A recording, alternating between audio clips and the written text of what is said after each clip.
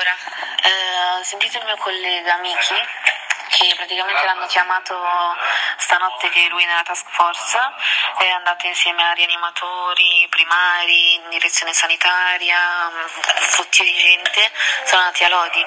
A Lodi c'era questo paziente, poi hanno preso la moglie e c'era anche quello che è tornato dalla Cina.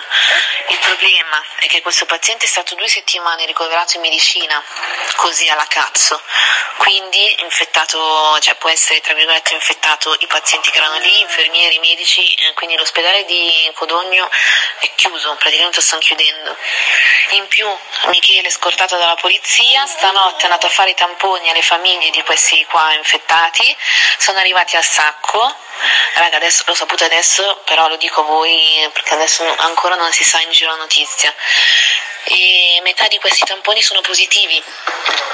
Quindi, uh, raga, io non so adesso se si diffonde il nostro coronavirus, però sono stati a contatto con tante persone questi qua. E mettetevi la mascherina mh, se andate proprio in, in luoghi comuni o se no o comunque lavatevi spesso le mani di qualsiasi cosa che toccate lavatevi le mani di brutto. Di brutto non, non mettete un cazzo in bocca. Cioè nel senso non mettete niente in bocca le mani sporche in bocca lavatevele sempre eh? perché adesso non so a sacco c'è un casino ho sentito anche il mio collega della rianimazione. Eh, c'è un casino. Sta arrivando un altro intubato positivo coronavirus.